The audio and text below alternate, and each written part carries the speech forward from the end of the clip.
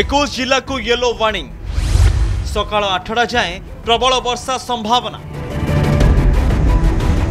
দিন তমাম ঝড়ি বর্ষা লাগি রহিথিবা বেলে আহরি চব্বিশ ঘণ্টা রাজ্যের প্রবল বর্ষা হেবা নেই পূর্বানুমান করেছি পাণিপাগ কেন্দ্র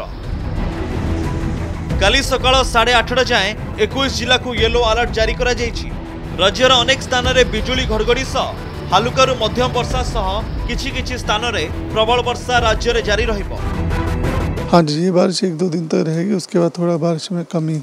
अभी जो हम लोग दिए हैं मतलब हमारा वेस्ट उड़ीसा के कुछ ज़िले और नॉर्थ उड़ीसा के ज़िले हैं जो नॉर्थ कोस्ट उड़ीसा और अर्जॉइनिंग जो डिस्ट्रिक्ट है उसमें हम लोग येलो वार्निंग दे रहे हैं ଦିନ ତମାମ ବର୍ଷା ଲାଗି ରହିବା ଯୋଗୁଁ ଘରୁ ବାହାରିବା ମୁସ୍କିଲ ହୋଇପଡ଼ିଛି ଲଗାଣ ବର୍ଷା ଯୋଗୁଁ ତଳିଆ ଅଞ୍ଚଳରେ ପାଣି पशि नीलगिरी अंचल किसी लोक घर पा ପଶିବା फल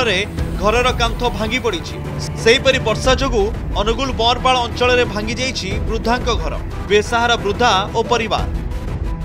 যেতবে আজ্ঞা থিলি বড় বর্ষা হল কান্থ মাড়ি বইলা কান্থ মাড়ি বইলার মো ছুয়া পিলা ধরি কালি মোর রোষেই নেগা আসেনি কালি দিন ভরি আমি উপাসে অছু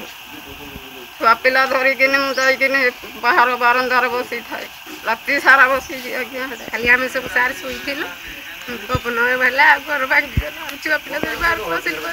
ଆମକୁ ଘର ମିଳିନଥିଲା ମାଟି ଘରେ ସାରା ଆମେ ରହିଥିଲୁ ଘର ତ ମାଡ଼ି ଗଲା ବର୍ଷା ହେଲା କେହି ଶୁଣୁନାହାନ୍ତି ଘର ଗଟେ ଦେଉନାହାନ୍ତି ଆମକୁ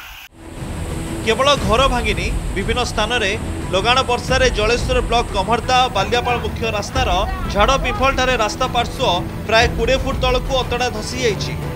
ସେହିପରି କୋଣାର୍କ ପରିସରରେ ପାଣି ଜମିଥିବା ଦେଖିବାକୁ ମିଳିଛି ବ୍ୟୁରୋ ରିପୋର୍ଟ କନକ ନ୍ୟୁଜ୍